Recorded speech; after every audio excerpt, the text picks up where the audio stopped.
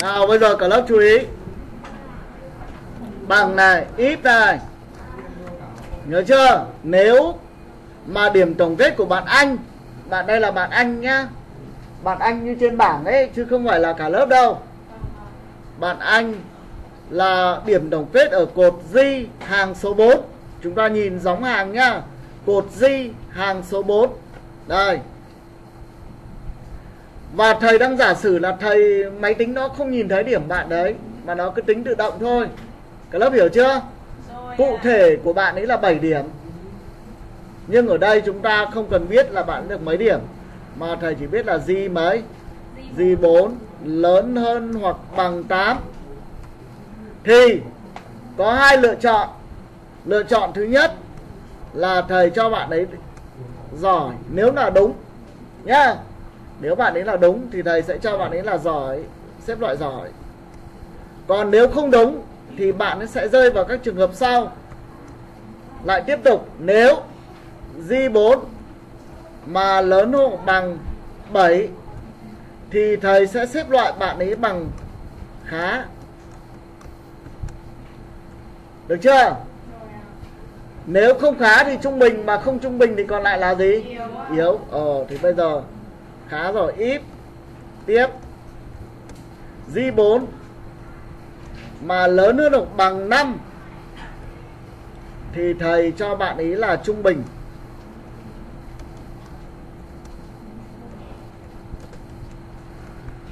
Được không?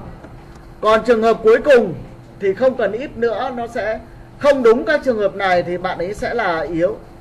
Chúng ta viết phẩy yếu vào đây. Và đóng ngoặc lại. Bao nhiêu cái mở ngoặc thì phải bấy nhiêu cái đóng ngoặc. Nha, một, hai, ba. Đủ rồi. Đúng chưa? Các em ghi cái lệnh đó vào. Tức là nghĩa lệnh này như sau. Kiểm tra điểm tổng kết của bạn anh. Nếu bạn ấy lớn hơn hoặc bằng 8 thì sẽ, bạn ấy sẽ nhận trường hợp là bạn được giỏi. Còn nếu không, bạn ấy lại kiểm tra tiếp bạn lớn hơn bằng 7 mà bằng 7 đúng thì bạn được khá. Còn nếu mà bạn ấy lại lớn hơn 5 vì hai trường hợp kia mình tính rồi thì bạn sẽ được trung bình. Còn lại là yếu. Enter nhá. Đây bây giờ ta mới copy các bạn này xuống. À, copy của bạn này xuống nhá. Rồi chúng ta xem nó tính như nào nhá. Rồi xuống đây. Đấy.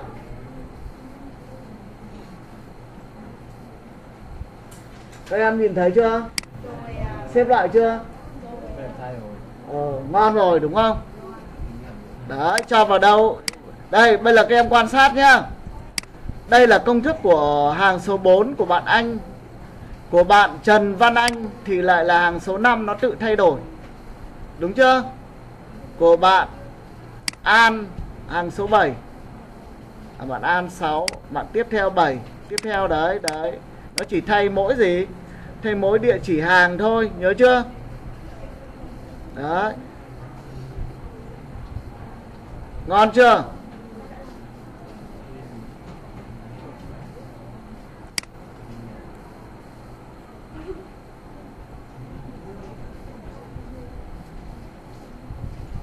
Rồi, bây giờ chúng ta xếp loại, Bây giờ ta thêm một cột nữa là thưởng nhá.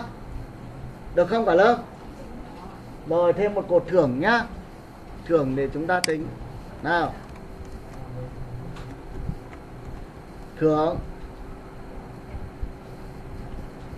Nào rồi, bây giờ các bạn sẽ căn cứ vào hai cột xếp loại và tổng kết Để chúng ta làm, Đúng không? Nào, chúng ta bằng.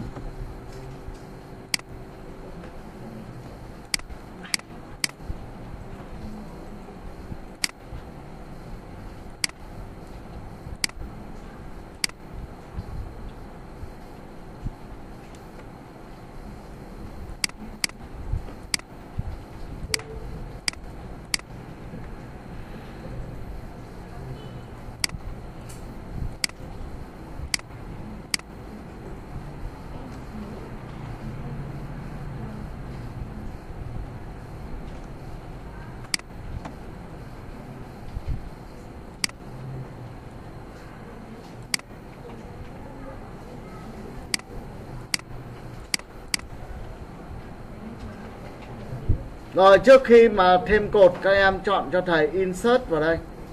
Nha, insert vào cho nó dễ làm. Insert này. Rồi. Insert column.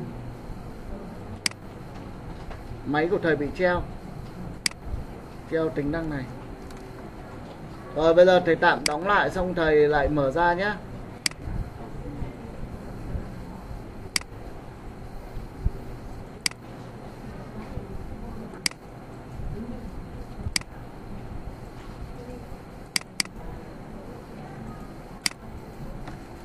bằng.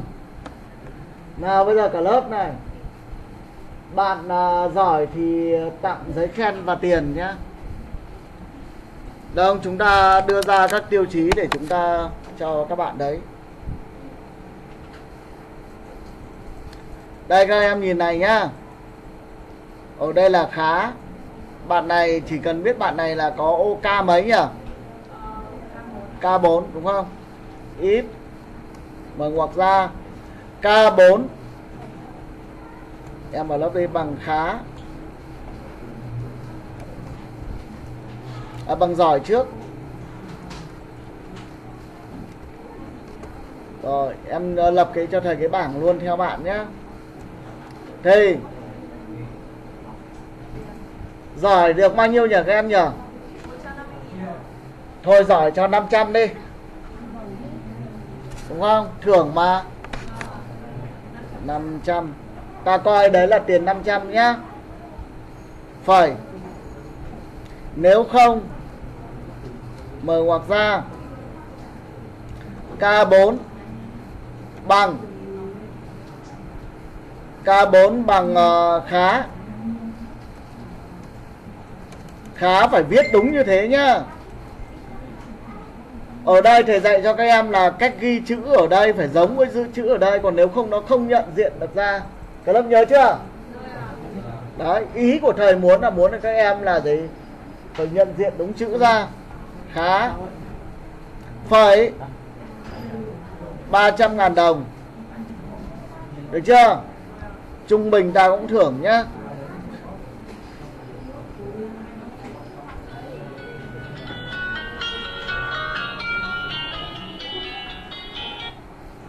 Alo?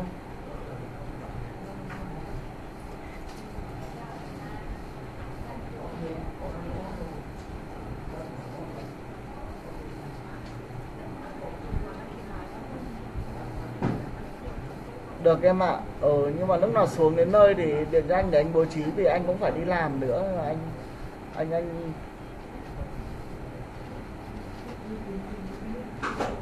ừ ừ ok. Ừ thế bảo đến đấy thì gọi cho anh ra nhé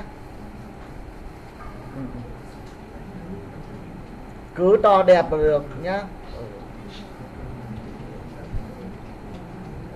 Thôi thôi, ba cần rưỡi thôi. Ờ quả to nhưng mà phải đỏ nhá. Ờ nha, ok em, cảm ơn em. Ừ.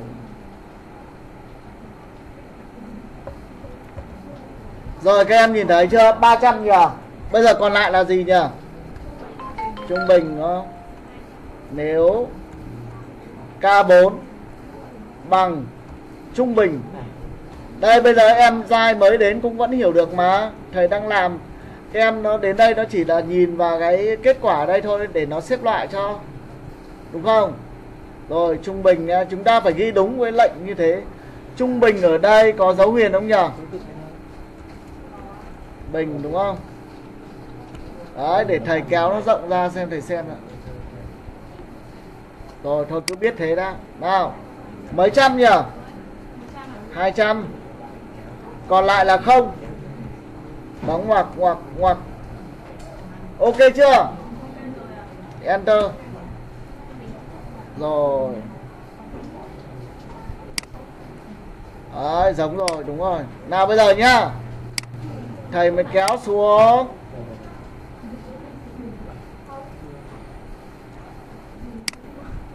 đấy. Ở đây có mấy người được 300 các em? 1 2 3 đúng chưa? Mấy người được 500 1 đúng rồi.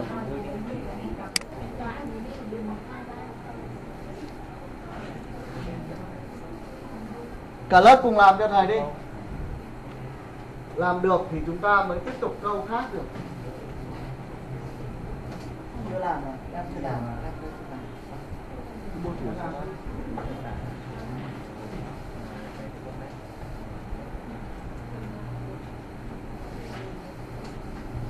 bạn sẽ phải được phải lên cô hai em đây hai vừa phải cô giúp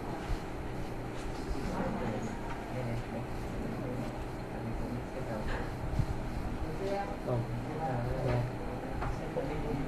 Chết rồi. Thế thôi. Đấy. Cả bên dưới. rồi đấy bạn này làm rất tốt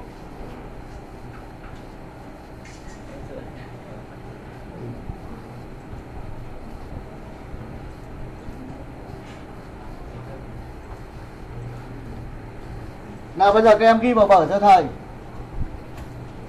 Trong khi xếp loại trong đi trong khi xếp loại thì có bao nhiêu cái giá trị? Thì có n ví dụ n cái giá trị thì các em ghi cho thầy. n trừ một ít. n trừ một ít nhá. Nhớ chưa? Đấy ví dụ ở đây có bốn trường hợp thì nó nó sẽ là ba cái ít. Cái ít cuối cùng thì nó chung với cái ít ở bên trong cùng lồng, bên trong cùng. Cả lâm nhớ chưa? Nhớ nhá. Rồi. Thế là chúng ta đã xong. Bây giờ chúng ta sẽ tính này, tổng bao nhiêu tiền phải chi cho lớp? Đây. Tổng nhá, bây giờ thầy ghi ở dưới này, tổng tiền này tổng tiền phải chi?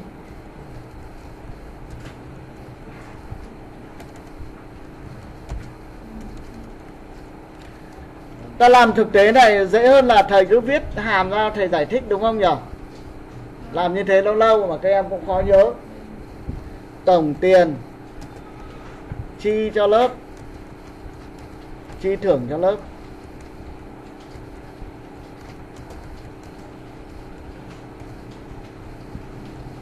Rồi. Đấy các em ghi vào đây ô này ô bên cạnh này nhá. Các em muốn ghi vào đâu? Được vào đây được. Thầy ghi xuống dưới này. Ờ, ghi vào đây được. Bằng. Cái lớp ghi số số à, ghi đầu tiên là phải có chữ bằng nhá. Và cái lớp chú ý cho thầy cái dấu bằng ở đây thầy viết như nào thì cái tên ở trên này nó cũng được tính ra. Đúng không? Đấy. nào bây giờ thầy nói với cả lớp như này nhá. Nếu như mà chỉ có vài số lẻ tẻ, thì chúng ta dùng công thức cộng bình thường như chúng ta bấm trên máy tính thôi. Hoặc là cái máy tính trên điện thoại các em ấy, nó cũng có bảng tính, đúng không? Thế còn ở đây nó có rất là nhiều, thì chúng ta phải sử dụng một cái hàm có tên là, chúng ta thấy này, bạn anh thưởng của, ô thưởng của bạn ý ở cột L4 đúng không? Bạn cuối cùng là bạn sinh. Cột L và hàng mấy? 19 hay 16 19 đúng không? Vậy thì chúng ta có một cái hàm sum. Mở ngoặc ra nhá. L4 Các em viết tiếng uh, chữ hoa được chữ thường được. L4 2 chấm. L19 Đóng ngoặc lại.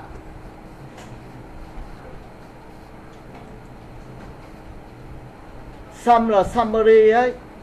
Viết tắt của chữ là tính tổng hay tổng kết. Tiếng Anh là summary. Nhớ chưa? Cả lớp nhớ chưa? Ờ nó viết tắt của chữ đấy nhá. Ta enter. Xem nào.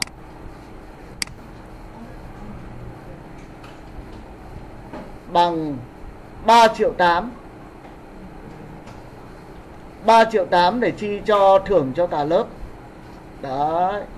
Sau này các em đi làm vào quản lý cái gì đấy thì các em phải biết tính toán. Nào. Em dài nhớ chưa? Nào, tính từ bạn này cho đến bạn này, Chỉ cần gì? Ô đầu tiên và ô cuối cùng thôi, ở giữa là hai chấm. Thì nó sẽ tính từ ô đầu tiên đến ô cuối gì? Ô cuối cùng.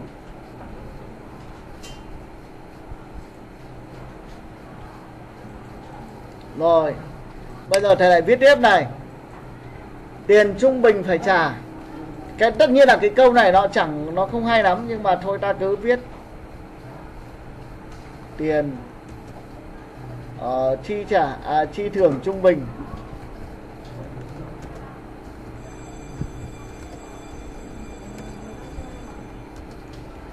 Mỗi bạn là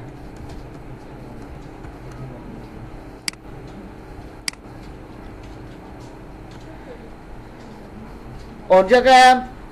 Có thấy dễ hiểu không? Ờ, dễ thì bảo dễ nha khó thì bảo thầy giảng lại. Các bạn nam ở dưới kia phải làm được nhá. Nào ta bằng. Bạn nào nhớ cho thầy từ vừa xong đến lúc nãy nhở lúc này thưởng là L4 đến L19 đúng không? Rồi. Chúng ta mở cho thầy ra. Hàm có tên là tiếng Anh là average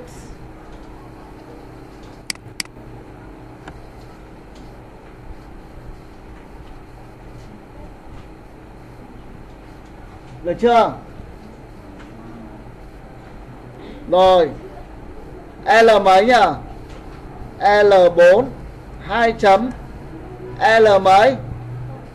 L19 đóng ngoặc lại.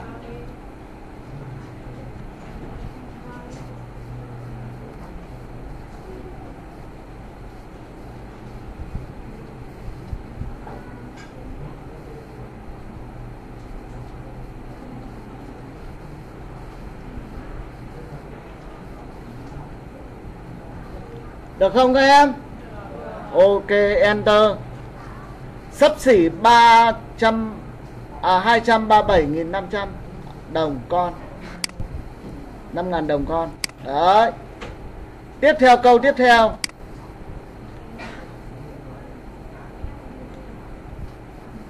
Tiền thưởng lớn nhất là bao nhiêu và tiền thưởng nhỏ nhất là bao nhiêu chúng ta ghi. Tiền thưởng lớn nhất là hai chấm. Bằng. Chúng ta chọn cho thầy hàm maximum, đây là max.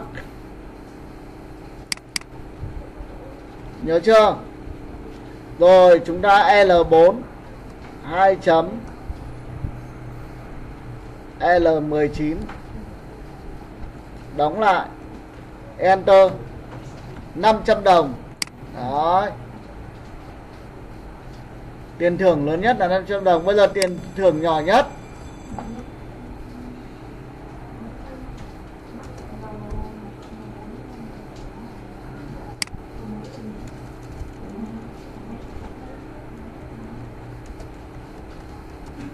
Là, chúng ta cho hàm min bằng min nhá.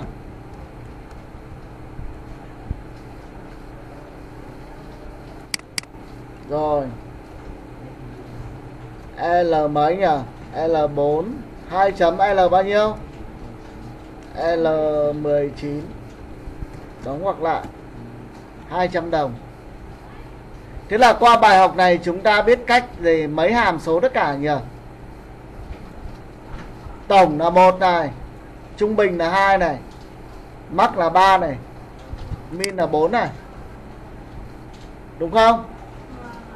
Rồi, chúng ta biết được ít là 5 này, nhá. Đấy.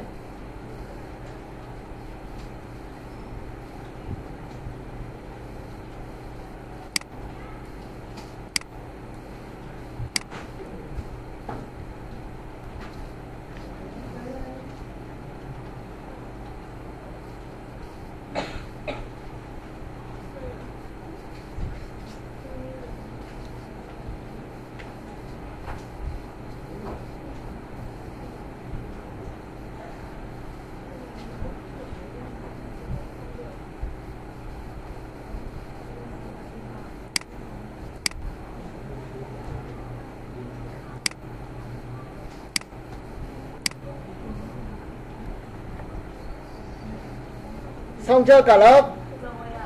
Rồi nhá bây giờ thầy giao bài tập làm tại chỗ.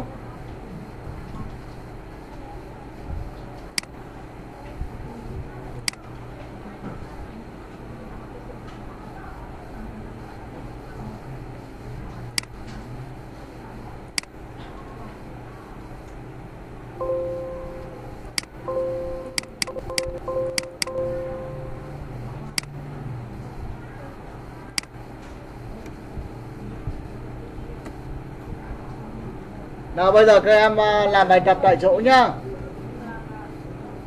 Tính bảng lương.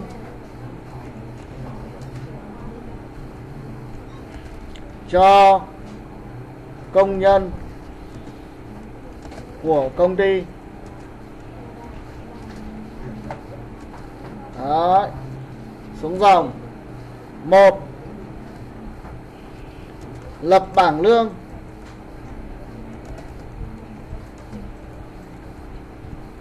Bao gồm các cột sau. Nào, số thứ tự, họ tên. Ngày công. Tiền trên một ngày, tiền lương nhá. Tiền lương trên ngày. Phẩy phụ cấp. Cột phụ cấp. Phẩy. Cột thường phẩy. Cột giới tính à giới tính để cho bên này đã.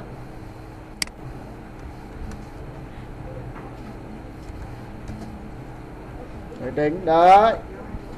Phụ cấp thường tổng lĩnh. Được chưa? Câu 1 là lập bảng. Câu 2 Câu 2 Lập bảng nha, lập bảng là gồm điền ờ, các thứ ngày công và số tiền rồi. Câu 2 này. Nếu là nữ Mỗi tháng Được thêm 200.000 đồng Để làm cái gì thầy không biết nha, ưu tiên nữ. Được không? Ở cái cột này là cột ờ, thêm vào cho cái này gọi là trợ cấp nhá. Trợ cấp. Được chưa? Tính tự động ra cho thầy nhá. Câu 2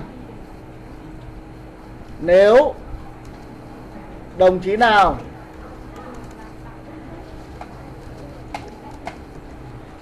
làm trên 24 ngày thì được thưởng.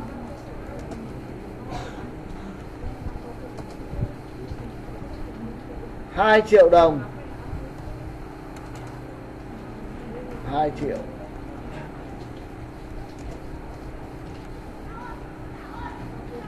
Nếu đồng chí nào lớn hơn bằng 22 ngày tức là một tháng thì chẳng ai làm hết 30 ngày đâu các em ạ. Đúng không? Còn chủ nhật thứ bảy, còn ngày nghỉ lễ lung tung nữa, cho nên là chúng ta cứ ờ, tạm gọi là những ngày đấy cũng dao động từ 18 cho đến 24 nhá.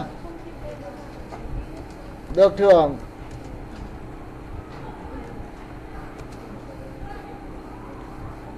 Được thưởng 1 triệu đồng.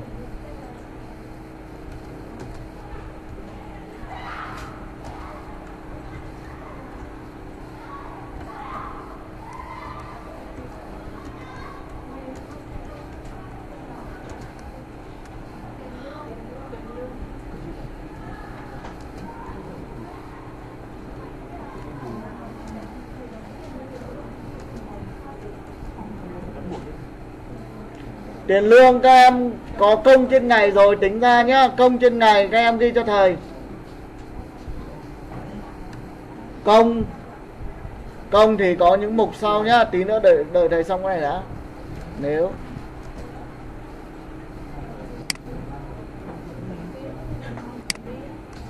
nhỏ hơn bằng à, nhỏ hơn 18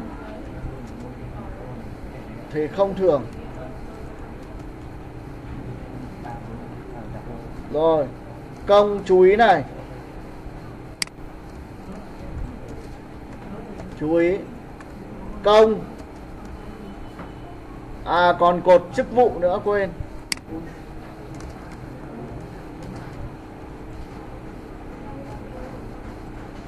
Công này, tổ trưởng. 500k trên một ngày. Tổ phó.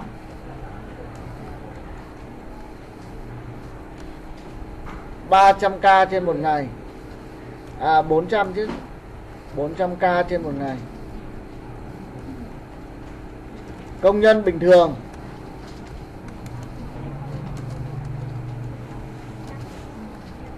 Công nhân thì chúng ta là 350 ngàn một đồng trên một ngày. Nha. Ok chưa cả lớp các em? Rồi. Phụ cấp này. Phụ cấp các em cũng điền tự động cho thầy nhá. Phụ cấp. Nếu là giới tính nữ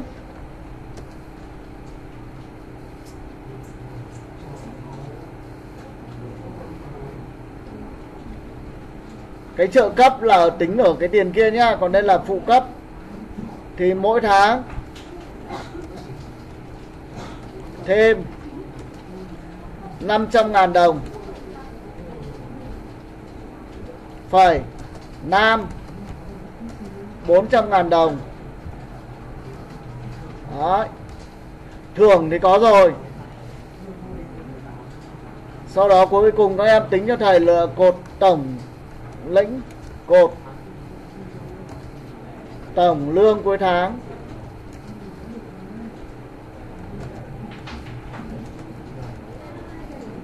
Rồi xong.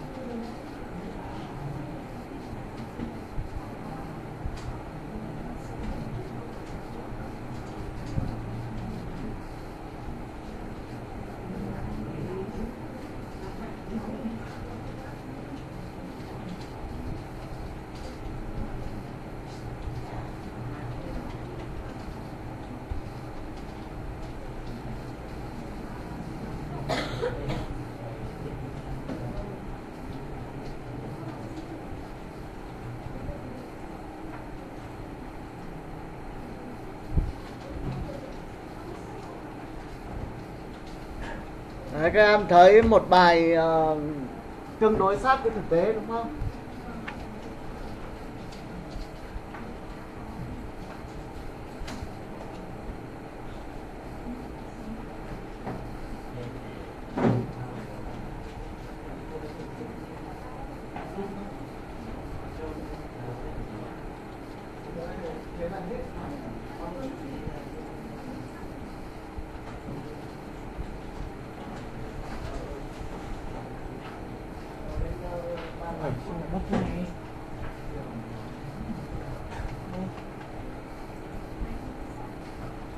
Ở dưới nhiều bạn không đọc được nào.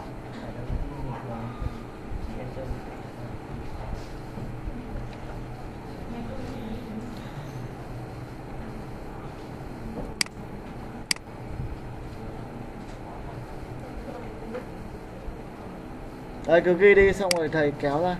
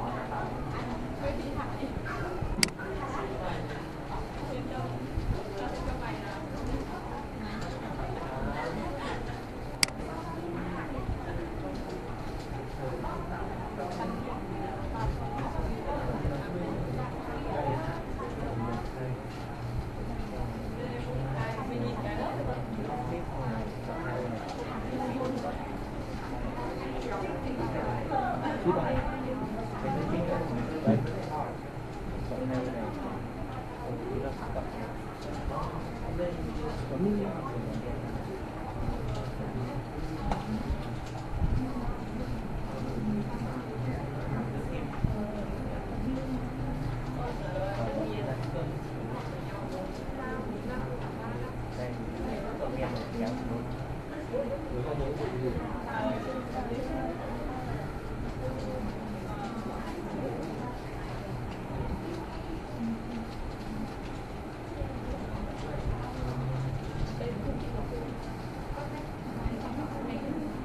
Ở dưới ờ, các bạn làm được chưa?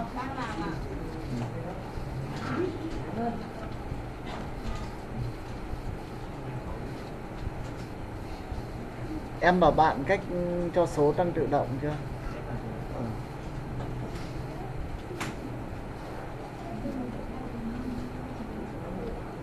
phần PowerPoint thầy quyền dạy lớp em đến phần nào rồi? Xong rồi. Xong rồi nhưng mà có những mục nào trong lúc các em được học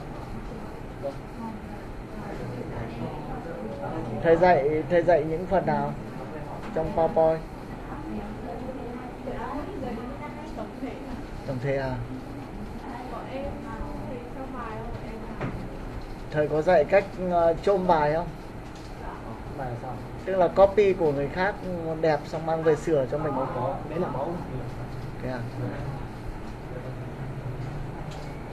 Thầy có làm những cái slide chuyển động không mỗi trò chơi chữ ví dụ không trò chơi chữ những cái khác có không?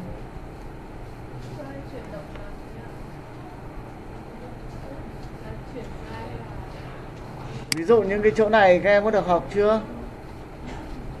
Đây để thầy mà.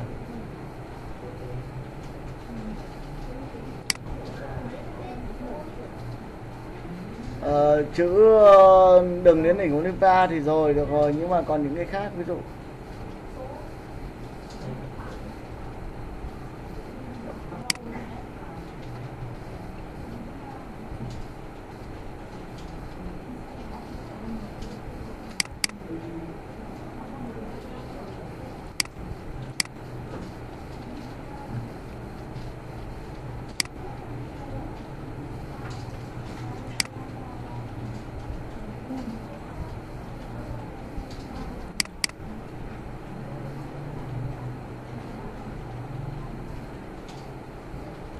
Ví dụ những quay quay như kiểu này ờ, các em có được không? Được chưa?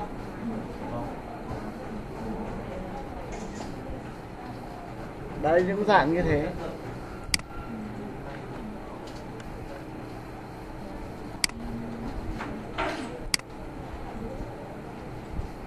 Có hết rồi đúng không các em? À được học hết rồi đúng không?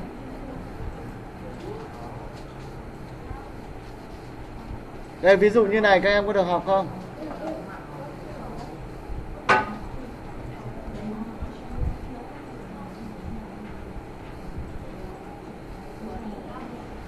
Không, thầy hỏi để biết thôi hả chưa à?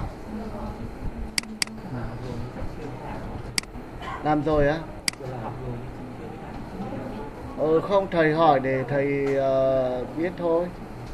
Ví dụ như chỗ này này.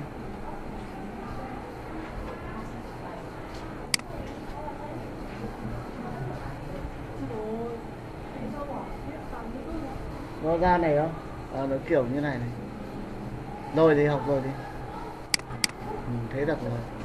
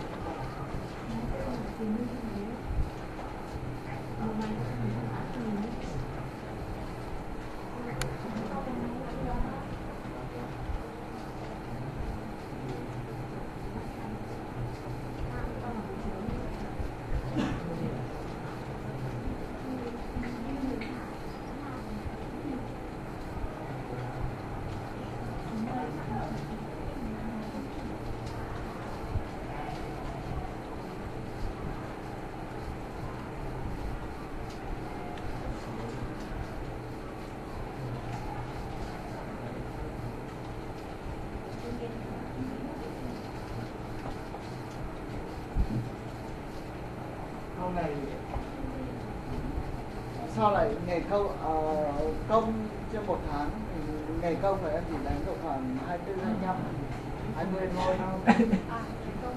Còn ngày công thì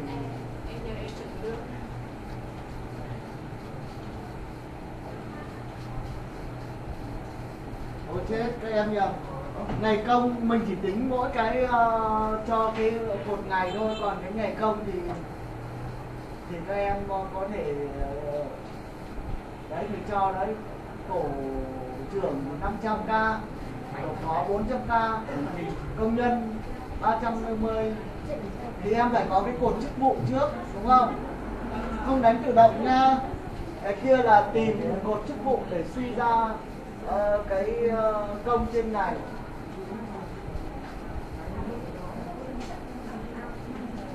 nhớ chưa?